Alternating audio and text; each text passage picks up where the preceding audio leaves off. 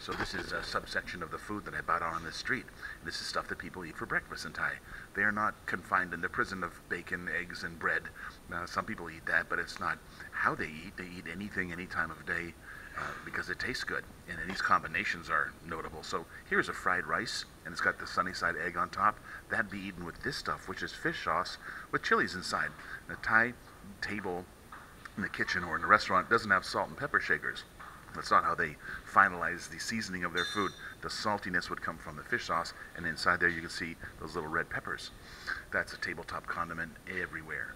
Uh, with this, uh, you can put some lime on it, and I'll eat these vegetables with it. So there's always a high composition of vegetables in the Thai diet for that reason. In addition, this is a, a dip made from uh, shrimp paste and mackerel. You can also eat it with the sticky rice, which is here, or with these vegetables that are here.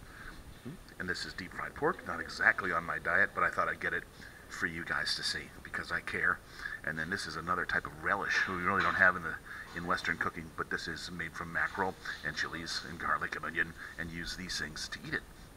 So all this stuff is absolutely delicious and all is legitimate eat for breakfast, and I'm going to try it and then share it with my homies here at the hotel. It's part of my deal.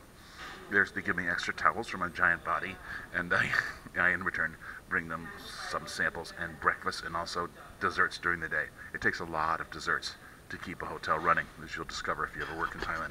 A lot of desserts.